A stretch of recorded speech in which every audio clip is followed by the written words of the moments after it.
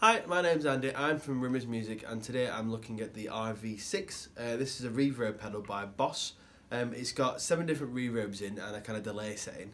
Um, going from left to right, it's got the three controls. It's got um, an E volume, which kind of just how loud the actual uh, reverb is itself.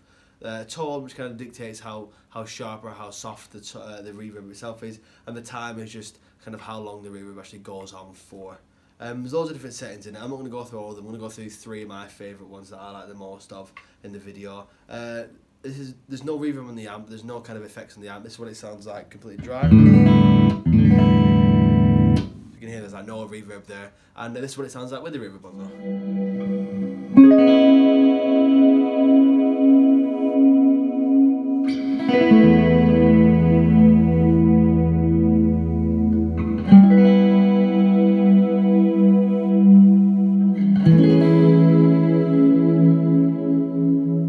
thank